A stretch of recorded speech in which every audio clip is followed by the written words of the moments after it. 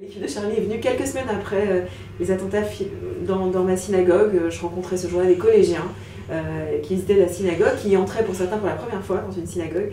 L'équipe de Charlie était là et j'ai eu la chance de trouver quelques semaines plus tard dans Charlie voilà, une, caricature sympathique avec, euh, avec des papillotes qui sentaient pas mon chapeau mais, mais, mon maillot. Et alors ça, non, ça a fait rire beaucoup de gens autour de moi. Moi, je l'ai conservé précieusement, cette image.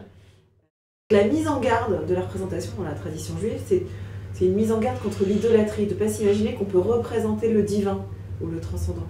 Mais en fait, c'est tout le contraire de ce que disent les fondamentalistes. Eux, ils sont persuadés qu'on touche à l'image de Dieu ou de son prophète quand on le dessine.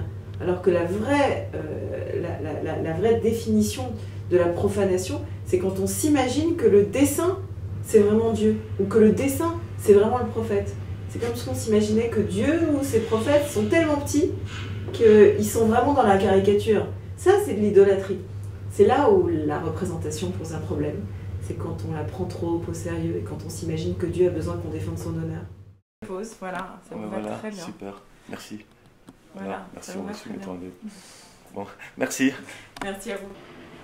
Rez-de-chaussée. Je suis pas sûr que ça m'aille si bien que ça.